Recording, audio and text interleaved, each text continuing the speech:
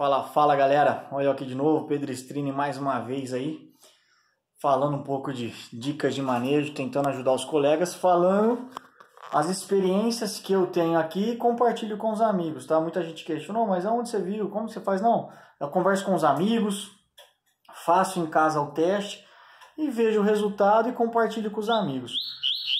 Vídeo anterior eu falei do Babilônia, tô até cantando aqui, que agora é é deixar ele de lado para mudar de pena, ele é a fêmea. Então vamos lá, galera. O que acontece? Ó, o voador dele estava aqui, tá vendo? Já está vazio. E o que, que eu fiz agora? Olha lá ele lá onde está. Um voador um pouco menor, cheio de trato.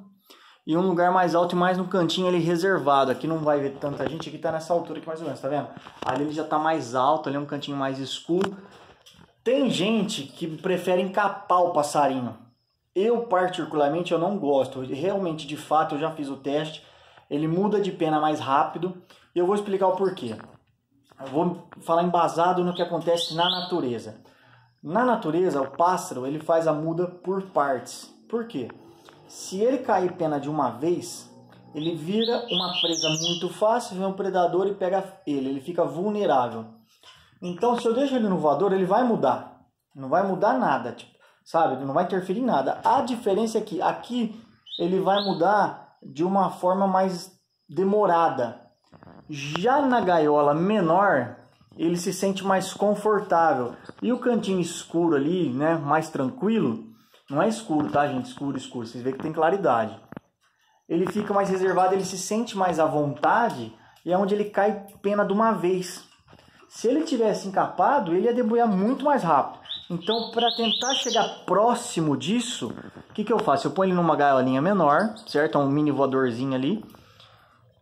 Encho de trato e deixo ele no cantinho ali quietinho. Aqui, essa primeira semana ele não vai sair do prego. Ele vai ficar aqui. Para quê? Para ele entender que é para ele mudar, para ele ficar à vontade. Aí ele vai entrar no estágio febril e vai cair pena.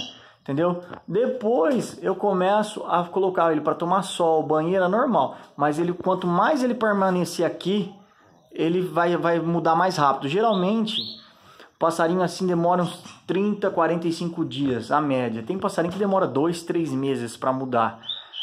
Desse jeito aqui, comigo, comigo, em torno de 40 dias já está pronto o passarinho. A muda, não significa que ele está afiado nem nada, é outro procedimento. Então ele está aqui e a fêmea continua no prego dela, a fêmea já está na muda. Como ela fica mais no prego, então não tem por que eu mudar. Ela já debulhou de pena ali, ela está bem, bem caída as penas. Então ele está aqui, então agora eu vou deixar assim e vou fazendo outros vídeos, vou mostrando para vocês a sequência dos vídeos, como que vai estar tá a pena dele. Então uma semaninha vai ser o teste para ele ficar aí. Deixa eu te mostrar a fêmea também, galera. Tem uma cadeira aqui que ela tá num lugar alto, né? Ela tá numa clarabóia aqui, ó. É mais claro, tá vendo? Só que aqui ela fica bastante aqui, ó. Ela tá bem feia de pena já, tá vendo? Não sei se dá para vocês verem aí, ó.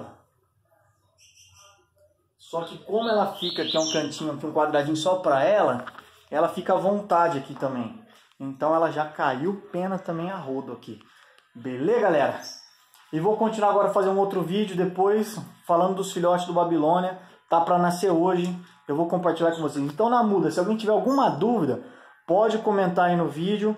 Conforme eu vou lendo, eu vou tentando responder. Faço um vídeo, se tiver, houver necessidade, explicando a dúvida do colega. Uhum. Galera, mais uma vez, obrigado pelo carinho, atenção, admiração que vocês têm comigo, que torcem pelo Babilônia, que torcem para os meus pássaros. E é isso aí, só tem que agradecer mesmo e lembrá-los: paciência, persistência e dedicação. Isso aí são, eu acho que para mim é a receita básica para o sucesso com a sua ave. Beleza? Fiquem com Deus e até o próximo vídeo.